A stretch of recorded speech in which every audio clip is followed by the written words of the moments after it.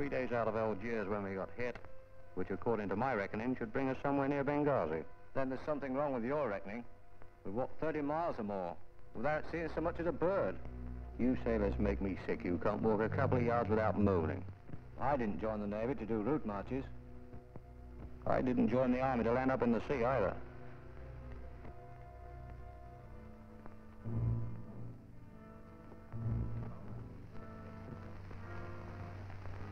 To the plane! Hey! Hey!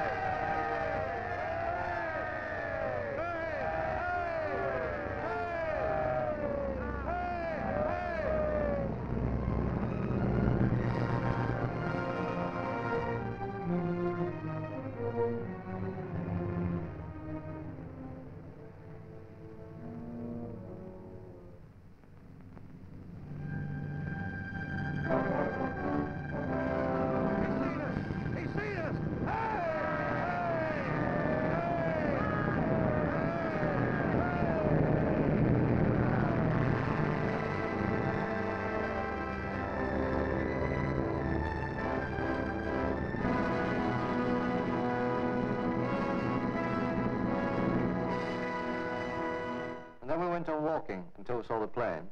We hadn't much to carry. The ship had gone down too quickly. I see. And about how long after she was torpedoed did it take her to go to the bottom? Ten minutes, sir. Fifteen minutes, sir. Well, 10 to 15 minutes. Thank you very much.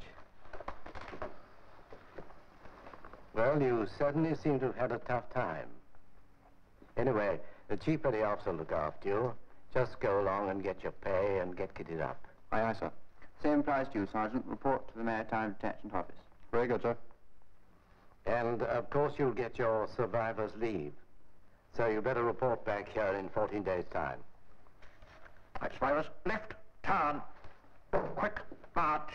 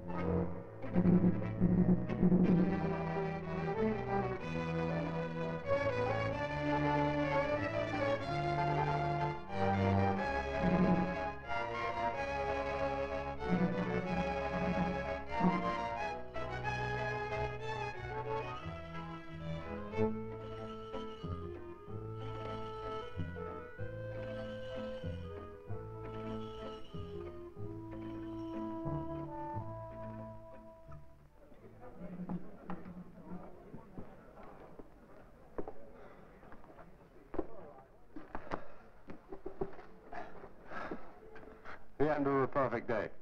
What are you going to have, Mike? Something cool, Bill. Two beers, please. Yes, sir. Well, we've about done Cairo today, Mike.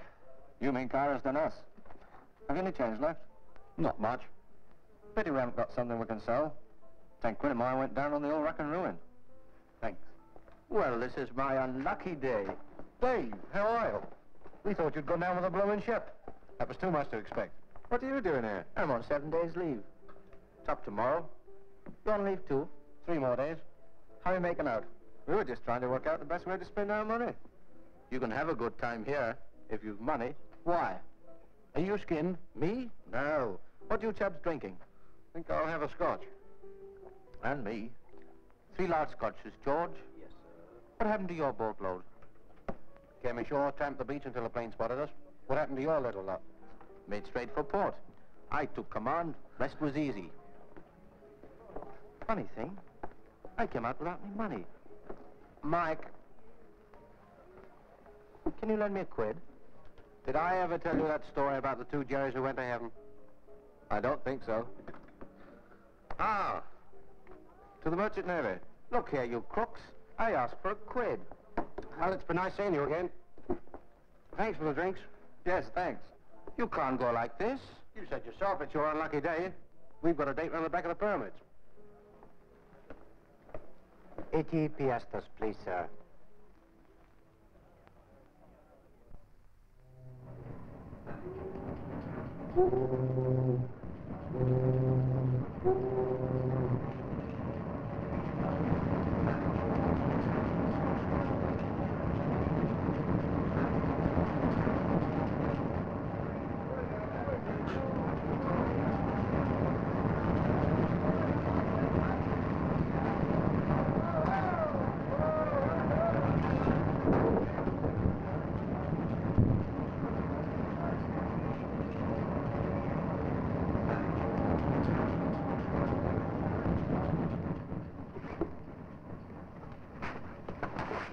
Take it easy.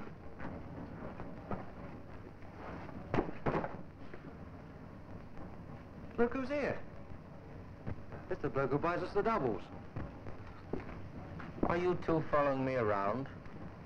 You sure you're not following us around trying to get the price of those drinks back? It's an idea. It's only an idea.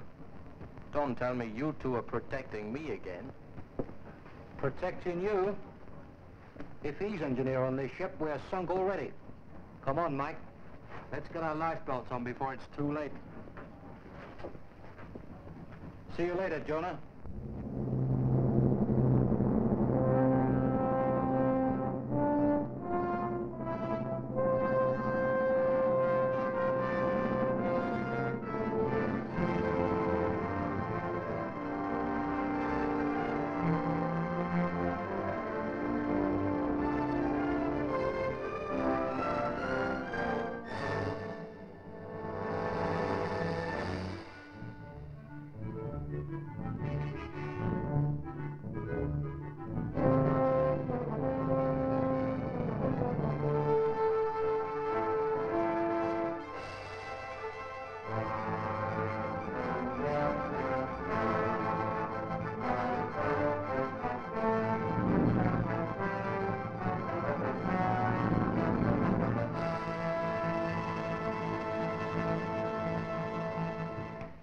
Doesn't strike me as a cook, but has his heart in his work. If Les Nutscrub has anything to go by, he hasn't. That's right. Looks as if old Tabby's going to have kittens again. That cat's got a husband in every door. Well, that's how I heard it. The steward swore he got it from the second officer, New York Cross Star. And why should we take a shipload of New Zealanders to New York? Hmm, never thought of it that way. Hurry up, you blokes. Breakfast's up. Help! Help! Hey, let's see this thing. On! On! Help! Up! Hey! Hey! Stop! Stop! Plane right 300. Come on, Ralph and Harrison, come on. Ready? Two all sets. West. Help! Lexi. Help! Toilets are closed. Plane left 350. I had hell of a to get Emery cloth in port side. Did you?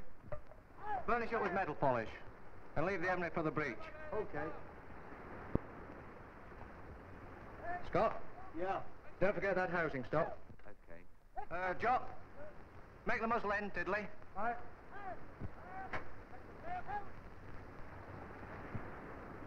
So that held the matter up for three days. What happened then? Oh, there was a hell of a row. We were three days out from New York at the time, so I sent a cable to the owners saying, Coffee, sir? put it over there, that we should be in Liverpool by Thursday next. Uh, Friday at the latest. And I told them that we could thrash the whole matter out then. That was in the summer of 1936. And the very next year, the same thing happened again. Hello, Tashi. Seen the second engineer? No, but I'll tell you something. I've just heard the old men tell the mate we're making for Liverpool. Last night you said the second officer told you New York. Ah, that was a mistake. So is this, if you ask me. Did you hear that, Mike? The steward said he heard the captain say we're bound for Liverpool. Couldn't be. Liverpool be Thursday. What do you think this says, the Queen Mary? I'm telling you. I'd just take the old man up his grub. I was as near as I am to you when he said it. As clear as a bell, he said. At the very latest by Friday. I say, lads, Stuart just heard the old man say that we're going to Liverpool. I'll bet. Where? Liverpool. He says it's right. Heard your man talking to the mate. We're not going back to NZ by any chance?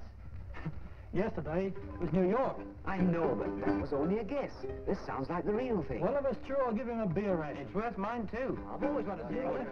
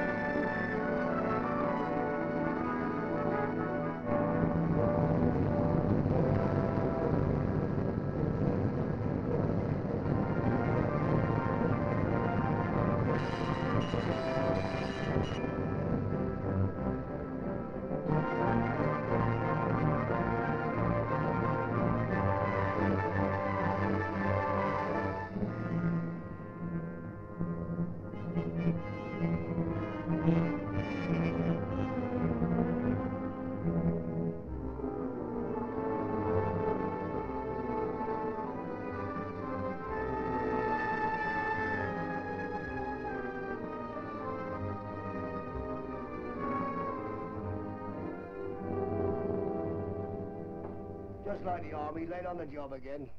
Make your own tea next time.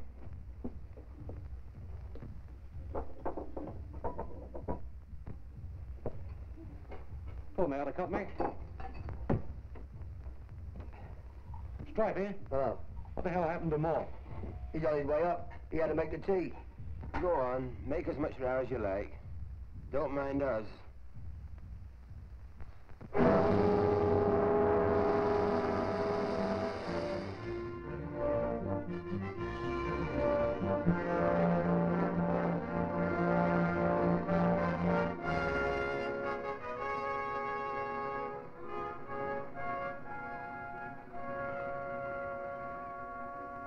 Don't look like Liverpool to me.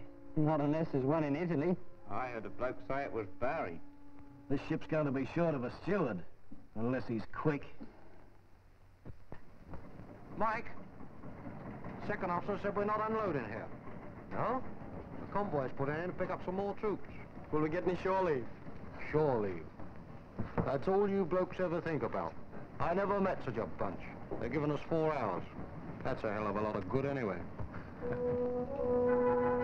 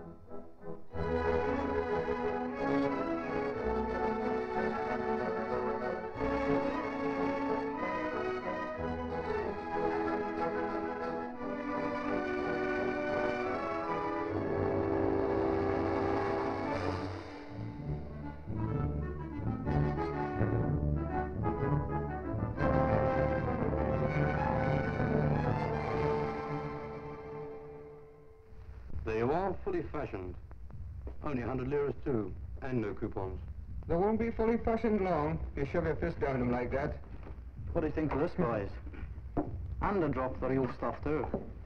How much? But it isn't there. How old did you say this was?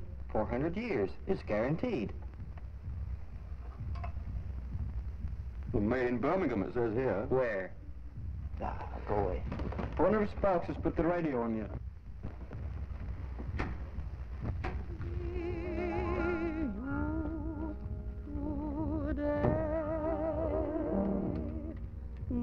Waiting days that dragged along were colorless and slow.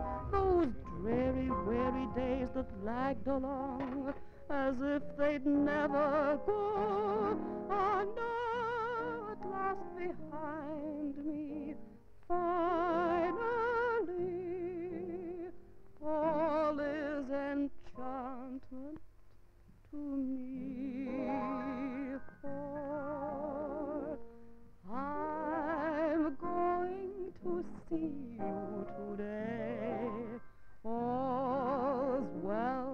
my world and the people that I meet as I hurry down the street seem to know I'm on my way coming to you. This is a beautiful day. I'm treading. Who should relieve Miles on the four inch? I should. Look alive and get up there then. Who's that tonight, Lee, Bill? My heart with happiness sings. I'll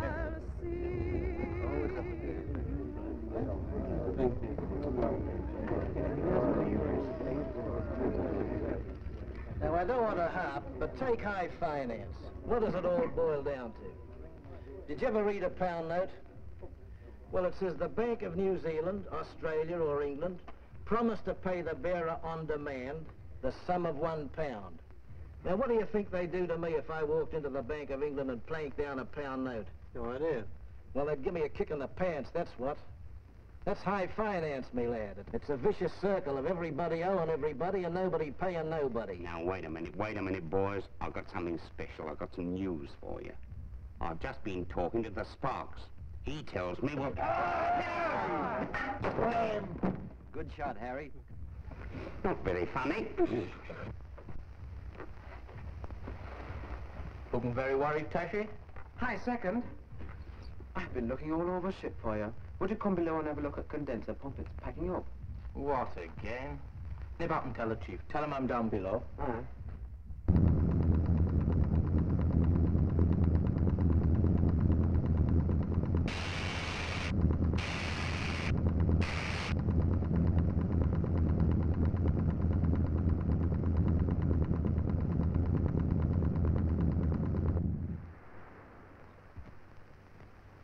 We've slowed.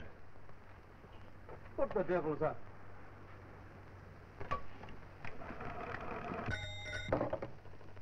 Chief here. What's the matter? What's going on down there? The condenser pump's backed up. We've had to stop the engines or we lose what's left of our water. And the ballast pump's still under repair. Do you have to pick a time like this, Mr. McGill? How long will it take you to fix it? Oh, the good Lord alone knoweth. And the makers of the blasted thing.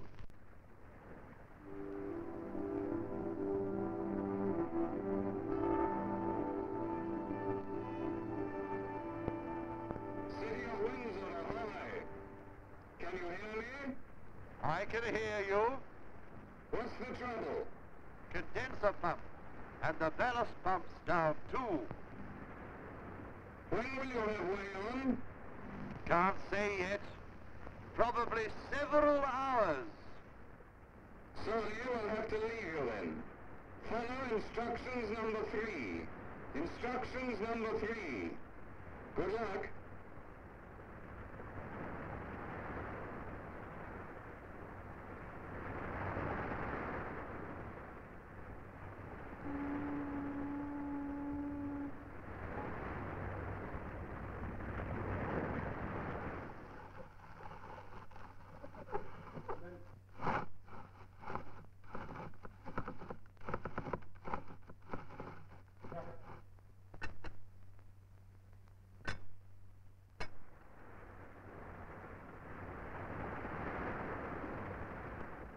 Come, boys, almost out of time. We're on a run now. Very quiet with the engine stopped. Alone, alone. All, all alone.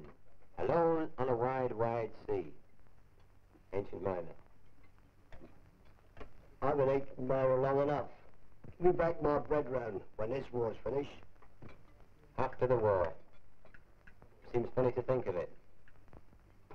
Stripey will go back to his bread round. Ken will be a croupier spreader, whatever that is.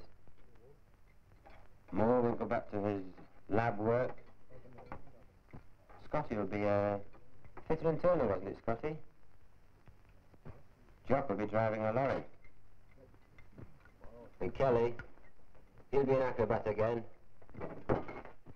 I'll go back to being a costing clerk. Or will I? I wonder if we will all go back to where we were before. It takes some settling down to. There won't be no after the war for any of us if this old tub doesn't hurry up and shift herself. You see, the way I look at it is this. The world's like this ship, drifting along with her engines bust. But where are we drifting to? Well, I did hear the third officer No, say it's that the we- world I'm talking about. It's drifting on the rocks, chum. That's what. And you and me have got to lend a hand. Politics ain't my cup of tea.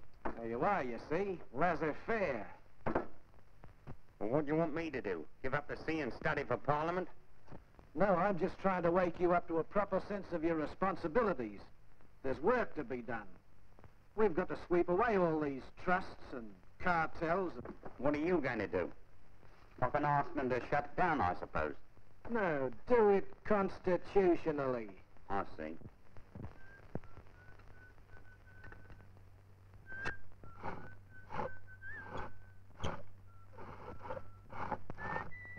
Nice target we are now. Stuck in the middle of nowhere, all by ourselves.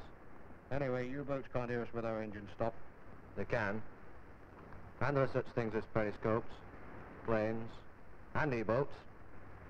Why don't you chuck in a couple of cruisers and a battleship and make a job of it? It's a kind of lonely feeling, isn't it?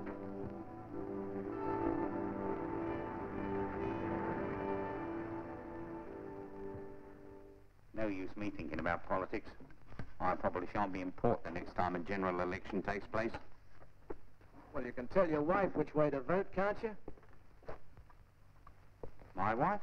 Yes, appeal to her common sense. Impress upon her the issues involved. How long have you been married to her? 25 years. Well, you ought to know her well enough by now. Now listen, chum. My wife's got plenty to do without messing about with politics. Look, I'm just trying to make you politically conscious. Yes, well, I'd rather be happy and unconscious. That's cynics like you that's got the world into this flaming mess.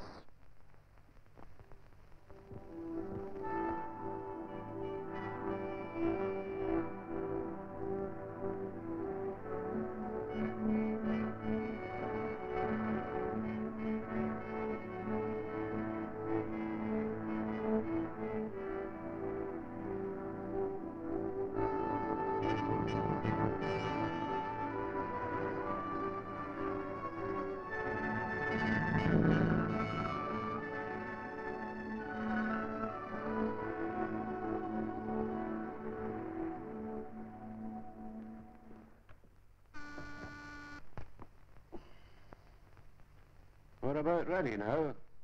You can ring on any time. Give us a slow ahead first, and we'll see how she goes. Okay? Okay.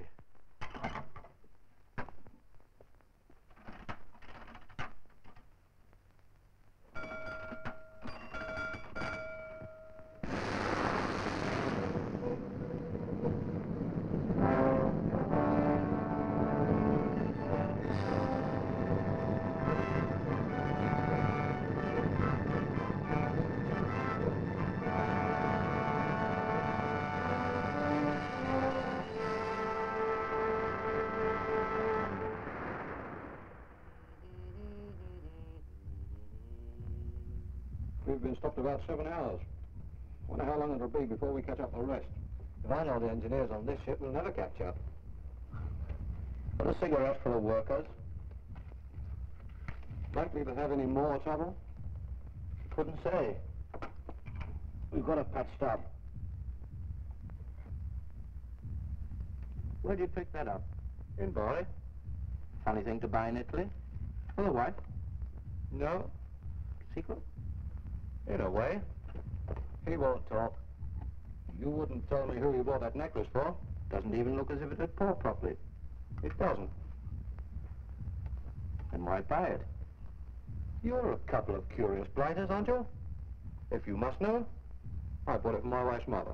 A dove teapot? I've got my reasons. I first met Rose through her brother Tom. She asked me home several times, but the family was always there. Ernie, leave those stamps alone and come and sit up at the table. Just stick him a Congos in, Ma. Shan't be a sec. We'll do that just as well after tea. You're a nice example, George.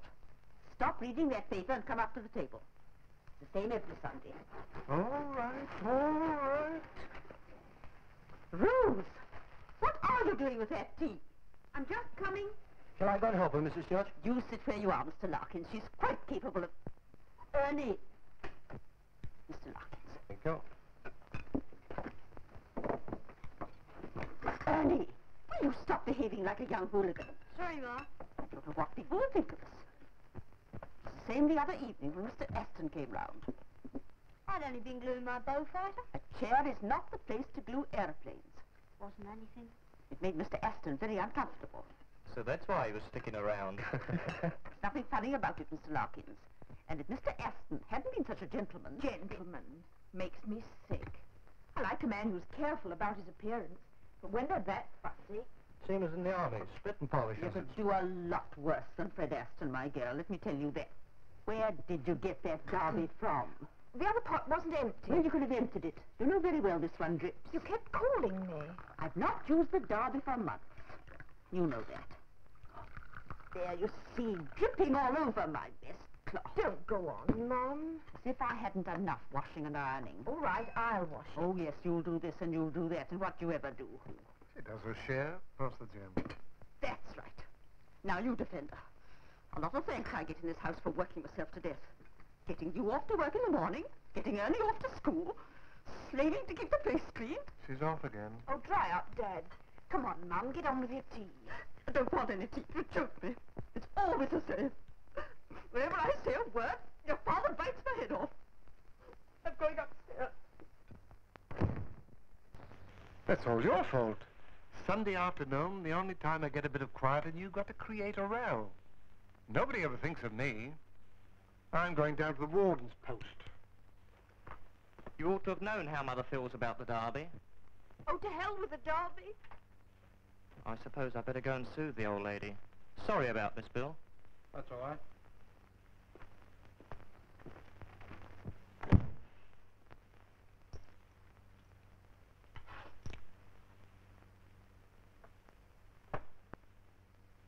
Half a dollar.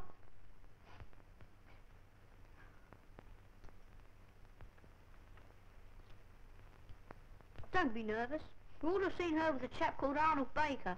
You little brat. Just putting in wise to you. Ta-da.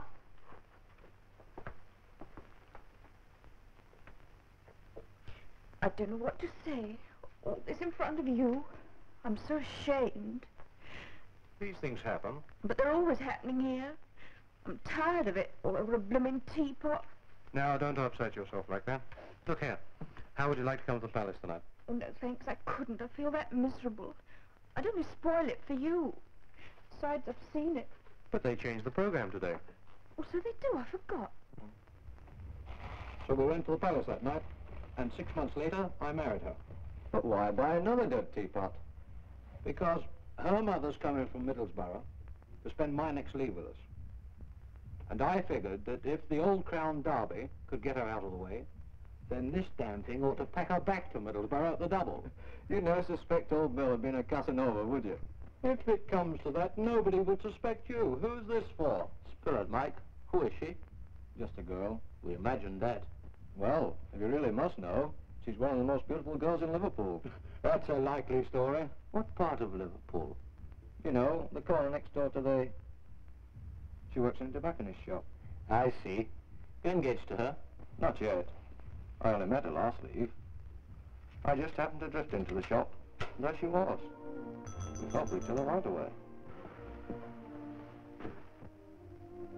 Yes? Uh, 20 Player's, please. Thanks. Nice day. Yes. Hollywood boys, miss, please. Thank you.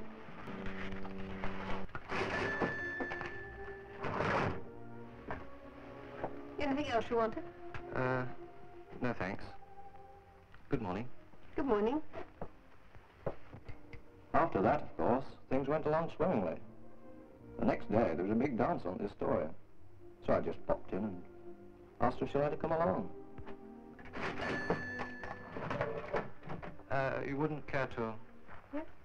20 Gold Flake, please. Thank you. Thank you. What I was going to say was, I suppose you wouldn't like to... That is, if you can spare... a... Here you are. And please don't ask again. We're so short of matches, we only have them for regular customers. I see. Thanks very much. Uh, three halfpence, please. Oh, yes. Thank you. We had a good time at the dance that night. I saw her home afterwards. And now we're practically... Well, that's the reason for that. You know, to look at you, Mike, you'd never guess. It only goes to show. There's something about the girls in tobacconists, especially in Liverpool. There's a little bit I used to blow and see sometimes, just on the visiting list.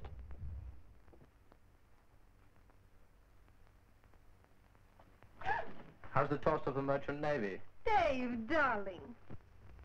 She's not your type, Mike, but attractive in a way. Why did you say this tobacconist was? Why? No reason. I just wondered. It wasn't by any chance a shop on the corner next to the Merchant Navy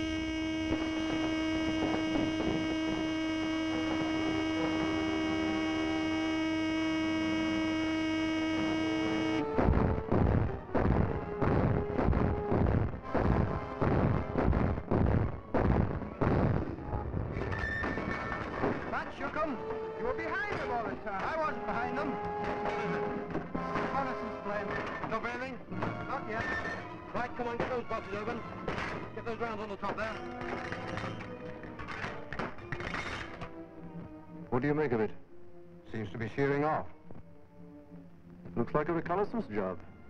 Looks as if we're for it. Not tonight. It'll be dark soon. Better keep keep 'em standing to, though. If we could make enough speed, we'd be up with the convoy by dawn. Sounds as though it's stopped. Wouldn't be too sure about that. All clear, boys. What was it? Reconnaissance plane. I hope you're right. Of course I'm right. Now, as I was saying before we were interrupted, take advertising. That's a waste of the world's time. Lots of people spending their lives telling us how to use more fancy oil on our hair. When you lose your hair, they're telling you to rub something on to bring it back again, which it never does. Telling you to pour patent medicines down your throat to cure you of something you never knew you had. If you're lucky enough to own a car, they're telling you to sell it before you've had it ten minutes and buy a new one, which isn't any better. That's advertising for you. It's another vicious circle. Everybody's spending more than they can afford, buying things they don't need so that somebody can spend more money telling everybody to buy lots more of what they can quite well do without, if you can follow what I mean. You're right, Cover. Four-inch gun, Jack? It was probably reconnaissance. Stand to until further orders. Aye, aye, sir. It was probably a reconnaissance. Stand to until further orders. Keep a sharp lookout, lads. Means all night again. Yeah.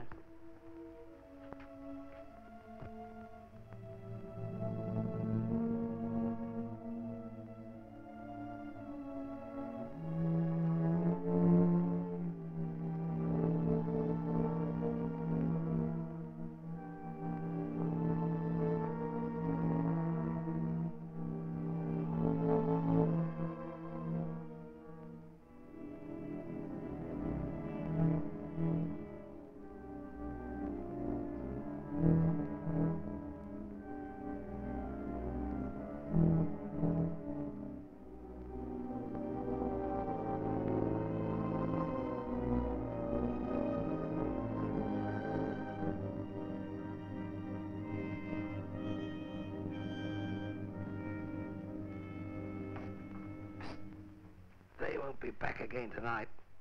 Famous last words. It'll be as black as pitch soon.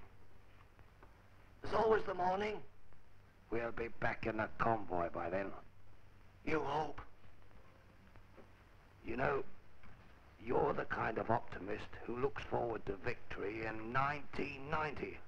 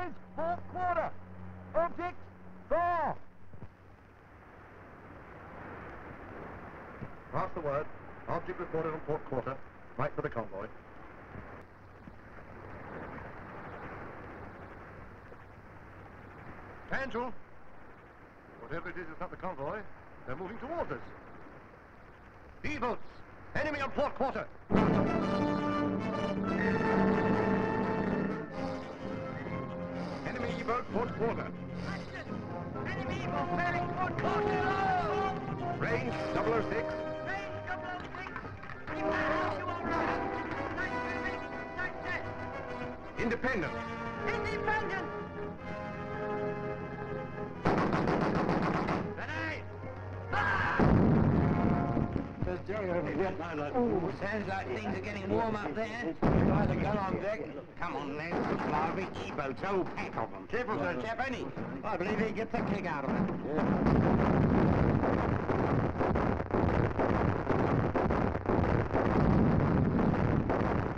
Every knot you can make. That's the fella.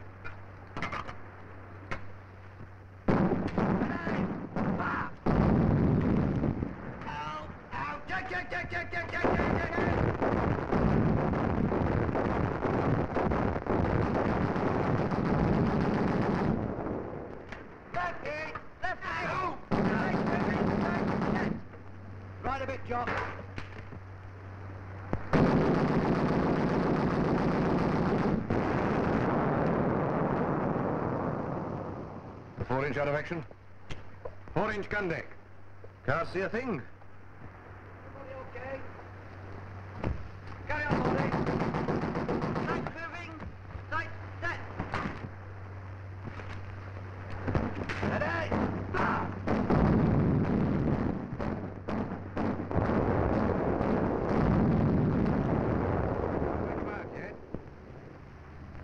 Yes. Three Jerry planes coming into starboard.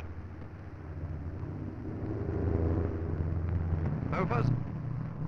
Enemy aircraft starboard bow. Plane F-300.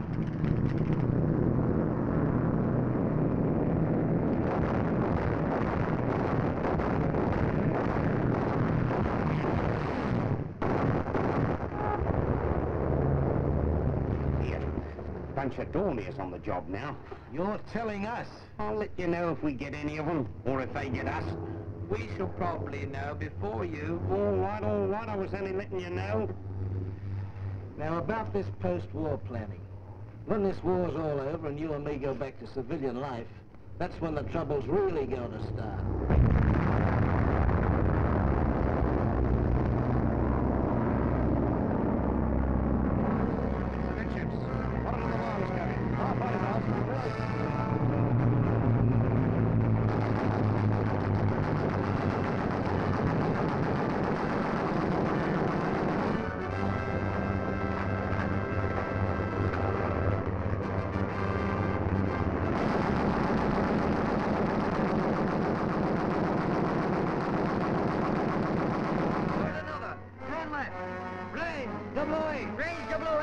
Deflection, one oh right. Deflection, one oh right. Sights moving, sights set. Ready?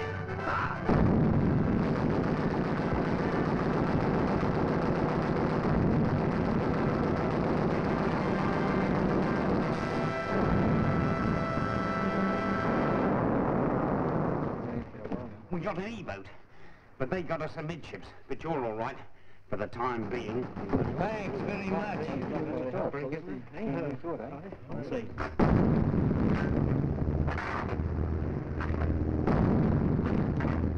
Stop it! Help! Hang on, I know. Change me, turn me. Help!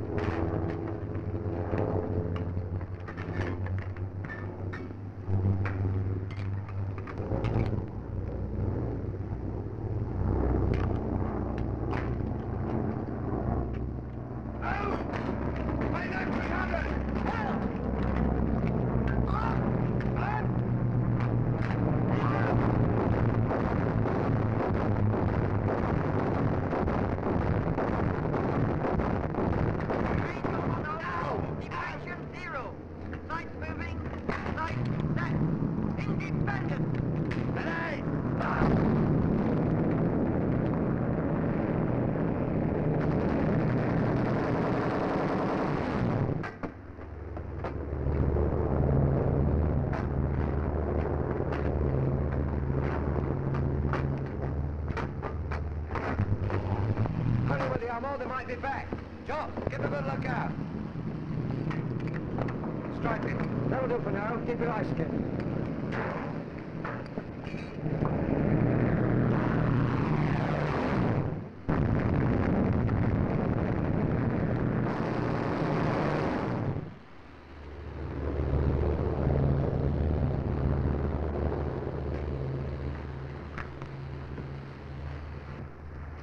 Depot! Stay red, 170! Heavy, take the Range, over low! All clear loud! Deflection, right, right, moving, right, set, fire!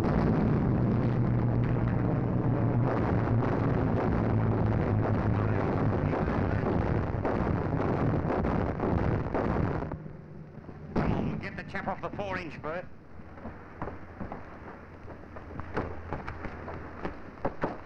Lift him up, sir. Lift his head. Got boy! Over. Get him below.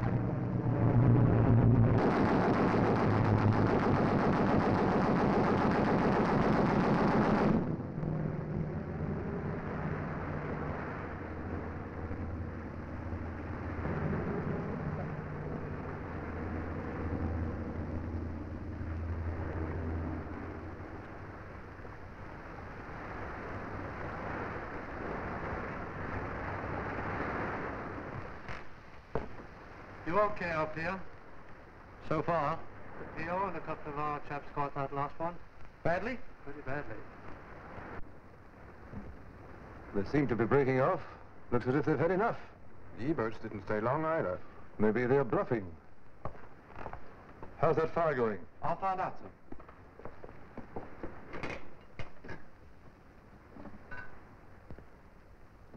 The fire's under control, sir. There were five casualties all told. Two of the deckhands caught it. Right. No sign of them now. I think you can give the stand down. Guns, crews? Right, sir. Thank you. Okay, stand down, lads. Busy morning. Too busy. We shall come anyway. I'm just going down to see how the PO is, Bombardier. Right, sir. Let's get the pit smartened up and some ammo clips. How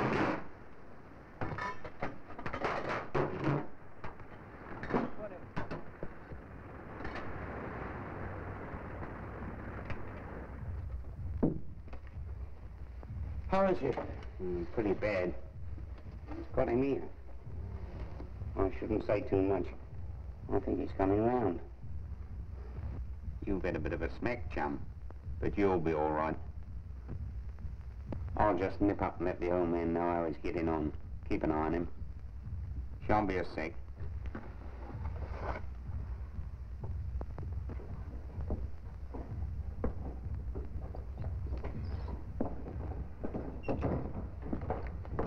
Well, after that turnout, the old man should give us a tart. Excuse me, sir. How are they, Johnson? Well, two of them will be all right, sir. PO's in a bit of a mess. Got it right through the shoulder, above the lung, sir. Need a doctor by the look of him.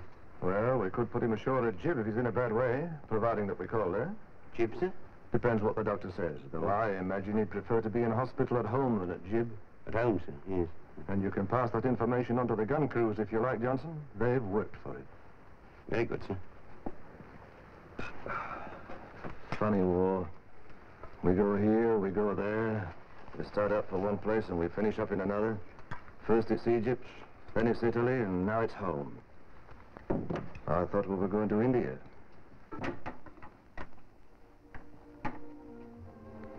How is he?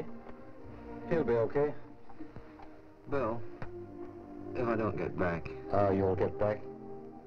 That necklace, you can have it if it's any use to you. I was only kidding about that girl. Never really knew her. I thought as much. Got ginger hair, hasn't she? She was telling me about a shy sailor. Same old lie. All right. I'll have her waiting on the quayside for you when we get back. I believe he's on the level this time. For a change. Take a look at that, Mr. Mate.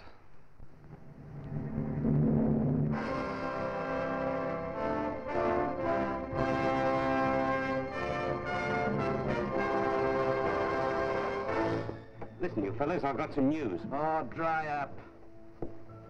How's the PO? He'll be all right. All right, all right, if you don't want to hear it.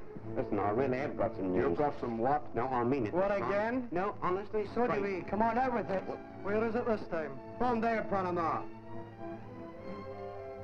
Well, it isn't anywhere, really. I, I was only kidding. Yeah, come on,